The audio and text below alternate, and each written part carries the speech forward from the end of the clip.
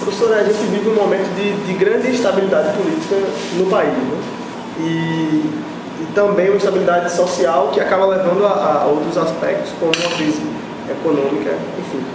É, então, nesse sentido, é possível traçar algum tipo de comparativo entre a crise política que é vivida hoje, essencialmente pelo governo da presidente Dilma Rousseff, e a instabilidade política ocasionada ao governo de João Goulart meses antes ao golpe de 64? A gama, os comparativos entre essas duas conjunturas, é, a gente vai ter uma gama aí de aproximações, mas também de distanciamentos. Então, teríamos assim uma escala extremamente variável desses aspectos. Né? Então, vamos tentar ver aí o que é que aproxima. É, indiscutivelmente, eu acho que que aproxima, é, fundamentalmente, é um temor por parte das elites, por parte das classes dominantes, do avanço popular. Mas, claro, em conjunturas completamente diferentes. Né? No pré-64, nós tínhamos uma mobilização popular nos mais diversos setores extremamente aguerrida. País vivia uma efervescência de mobilizações populares, movidas por demandas desses setores populares.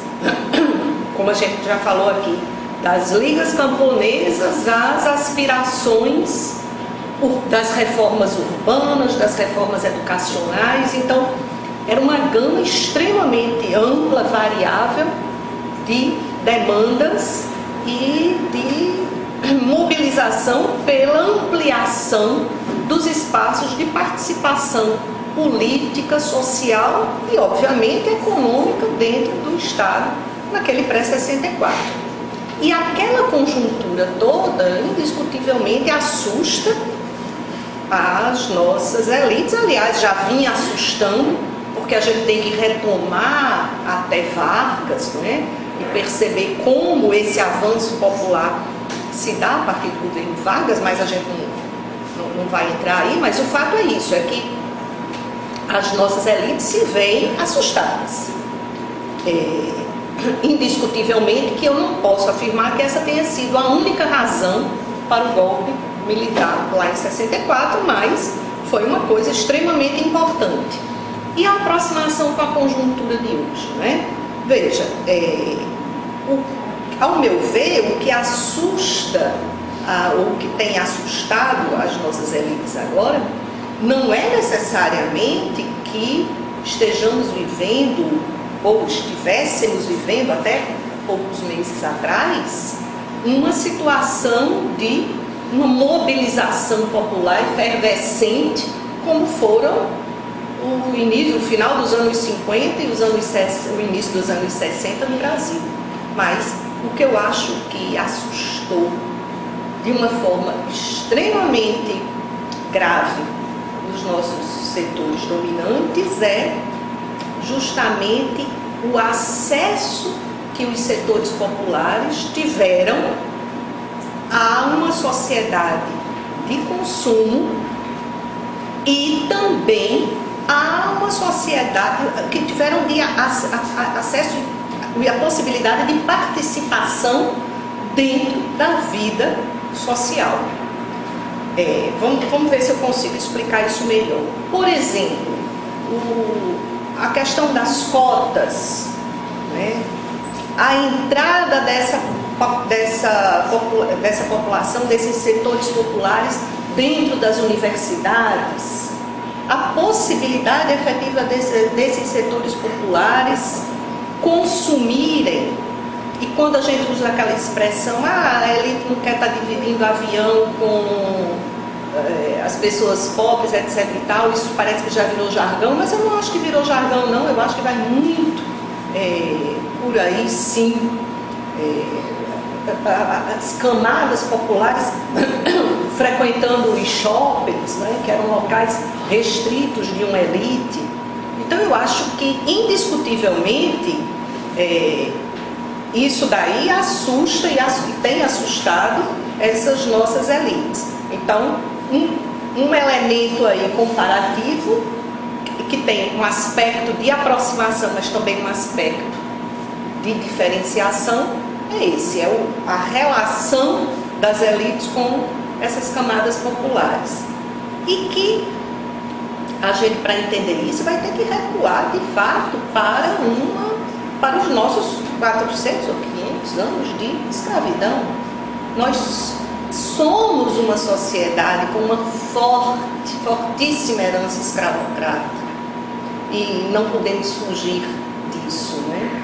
Por que, que a gente está vendo agora uma violência tão explícita, tão radical dentro da na mídia e nos setores de elite, uma violência que é muito social, que é muito difícil. Em tese seria muito difícil entender por que tanto ódio, por que tanta intolerância a quem se diz PT, quem se diz petista, e que na realidade não, com certeza não é apenas com o PT ou com quem se diz petista. É um ódio, é uma intolerância que por trás dele tem efetivamente todo um ranço de uma herança de séculos de uma sociedade escravocrata. E que aparece nitidamente nesse momento em que você compartilhar é, dessa posição amplamente discutida de consumo com as pessoas que sempre estiveram excluídas do consumo social, econômico e político, isso para essas elites é algo muito grave, é algo que é muito difícil de, de se aceitar.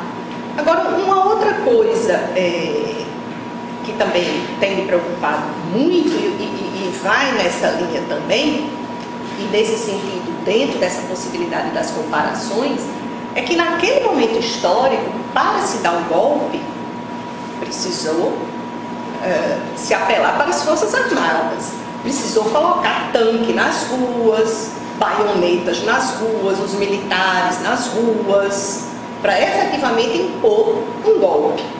E nesse sentido, arrebentar com aqueles, aqueles setores populares que tinham todas aquelas reivindicações, tirá-los do cenário político, que ainda era uma aspiração, eles ainda não estavam inseridos dentro de todo esse cenário político e social, mas precisou se apelar realmente para a força bruta. E o que é que a gente está vendo agora? É um golpe sendo é, estabelecido, sendo preparado e sem a necessidade de se apelar para forças militares, sem a, a, a, necessidade de tanques nas ruas, de baionetas nas ruas, dos militares nas ruas. Por quê? Porque temos uma parcela significativa da população apoiando isso daí. Então, para mim, o que me parece mais assustador dentro dessa perspectiva da comparação, né, desses dois momentos, desses dois tipos de golpe, e, e me parece que realmente é mais grave hoje em dia, é que teremos um golpe sem que haja necessidade de uma radicalização em termos de forças repressivas para se efetivar o golpe. Né? É, o que virá depois, enfim, aí já é alguma outra, é uma outra questão, uma outra pergunta, que os desdobramentos também seriam inúmeros. Mas enfim, é, eu acho que a grosso modo, eu acho que a gente pode comparar e, e ver, é, evidentemente teriam N outros aspectos de aproximação a uma escala variável, como eu digo, dessas aproximações. Né? Agora, já me, me, um outro ponto que me, me me vem à mente é o papel fundamental que a imprensa está tendo, novamente, é, os jornalistas, né, que a imprensa está tendo agora e que naquele momento, justamente por não termos uma uma imprensa com uma penetração tão maciça na sociedade que a imprensa não teve. Não que não tenha os meios de comunicação daquela época não tenham tido um papel e não tenha realmente fervido as discussões naquele momento. Só que a forma maciça como isso está sendo feito agora realmente não tem escala. A comparação atual é, é não, realmente não tem, não tem escala. Isso também é algo extremamente preocupante. Bem, acho que pode aqui sintetizar nisso.